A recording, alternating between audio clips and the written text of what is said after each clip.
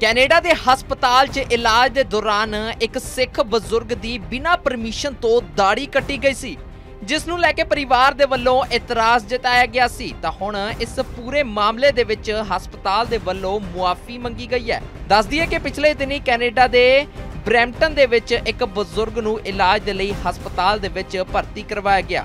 ਜਿਸ ਤੇ ਹਸਪਤਾਲ ਨੇ ਪਰਿਵਾਰ ਤੋਂ ਉਹਨਾਂ ਦੀ ਦਾੜੀ ਕੱਟਣ ਦੇ ਲਈ ਪੁੱਛਿਆ ਤਾਂ ਪਰਿਵਾਰ ਨੇ ਇਸ ਗੱਲ ਤੋਂ ਮਨਾ ਕਰ ਦਿੱਤਾ। ਫਿਰ ਵੀ ਉਹਨਾਂ ਦੀ ਦਾੜੀ ਕੱਟ ਦਿੱਤੀ ਗਈ। ਤਾਂ ਜਿਵੇਂ ਹੀ ਪਰਿਵਾਰ ਨੇ ਇਹ ਵੇਖਿਆ ਤਾਂ ਉਹਨਾਂ ਨੇ ਇਸ ਗੱਲ ਤੇ ਇਤਰਾਜ਼ ਜਤਾਇਆ। ਜਿਸ ਤੋਂ ਬਾਅਦ ਇਹ ਮਾਮਲਾ ਸੋਸ਼ਲ ਮੀਡੀਆ ਤੇ ਕਾਫੀ ਭਖ ਗਿਆ। ਤਾਂ ਹੁਣ ਹਸਪਤਾਲ ਦੇ ਵੱਲੋਂ ਪੂਰੇ ਮਾਮਲੇ ਤੇ ਮੁਆਫੀ ਮੰਗੀ ਗਈ ਹੈ। ਤਾਂ 86 ਸਾਲ ਦੇ ਬਜ਼ੁਰਗ ਸਿੱਖ ਸੀ, ਜਿਨ੍ਹਾਂ ਨੂੰ ਹਸਪਤਾਲ ਦੇ ਵਿੱਚ ਇਲਾਜ ਦੇ ਦੌਰਾਨ ਦਾਖਲ ਕਰਵਾਇਆ ਗਿਆ ਸੀ।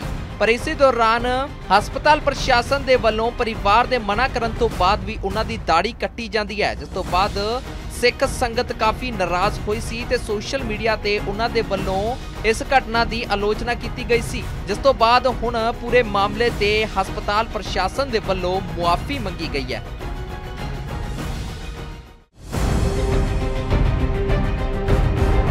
ਕੈਨੇਡਾ ਦੇ ਹਸਪਤਾਲ 'ਚ ਇਲਾਜ ਦੇ ਦੌਰਾਨ ਇੱਕ ਸਿੱਖ ਬਜ਼ੁਰਗ ਦੀ ਬਿਨਾਂ ਪਰਮਿਸ਼ਨ ਤੋਂ ਦਾੜੀ ਕੱਟੀ ਗਈ ਸੀ, ਜਿਸ ਨੂੰ ਲੈ ਕੇ ਪਰਿਵਾਰ ਦੇ ਵੱਲੋਂ ਇਤਰਾਜ਼ ਜਤਾਇਆ ਗਿਆ ਸੀ। ਤਾਂ ਹੁਣ ਇਸ ਪੂਰੇ ਮਾਮਲੇ ਦੇ ਵਿੱਚ ਹਸਪਤਾਲ ਦੇ ਵੱਲੋਂ ਮੁਆਫੀ ਮੰਗੀ ਗਈ ਹੈ। ਦੱਸਦੀ ਹੈ ਕਿ ਪਿਛਲੇ ਦਿਨੀ ਕੈਨੇਡਾ ਦੇ ਬਰੈਂਪਟਨ ਦੇ ਵਿੱਚ ਇੱਕ ਬਜ਼ੁਰਗ ਨੂੰ ਇਲਾਜ ਦੇ ਲਈ ਹਸਪਤਾਲ ਦੇ ਵਿੱਚ ਭਰਤੀ ਕਰਵਾਇਆ ਗਿਆ।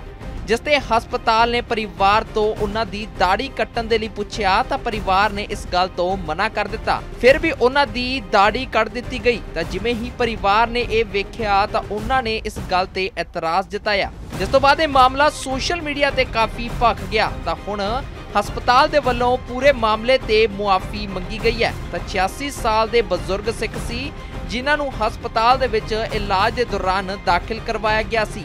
ਪਰ ਇਸੇ ਦੌਰਾਨ ਹਸਪਤਾਲ ਪ੍ਰਸ਼ਾਸਨ ਦੇ ਵੱਲੋਂ ਪਰਿਵਾਰ ਦੇ ਮਨਾ ਕਰਨ ਤੋਂ ਬਾਅਦ ਵੀ ਉਹਨਾਂ ਦੀ ਦਾੜੀ ਕੱਟੀ ਜਾਂਦੀ ਹੈ, ਜਿਸ ਤੋਂ ਬਾਅਦ ਸਿੱਖ ਸੰਗਤ ਕਾਫੀ ਨਾਰਾਜ਼ ਹੋਈ ਸੀ ਤੇ ਸੋਸ਼ਲ ਮੀਡੀਆ ਤੇ ਉਹਨਾਂ ਦੇ ਵੱਲੋਂ ਇਸ ਘਟਨਾ ਦੀ ਆਲੋਚਨਾ ਕੀਤੀ ਗਈ ਸੀ, ਜਿਸ ਤੋਂ ਬਾਅਦ ਹੁਣ ਪੂਰੇ ਮਾਮਲੇ ਤੇ ਹਸਪਤਾਲ ਪ੍ਰਸ਼ਾਸਨ ਦੇ ਵੱਲੋਂ ਮੁਆਫੀ ਮੰਗੀ ਗਈ ਹੈ।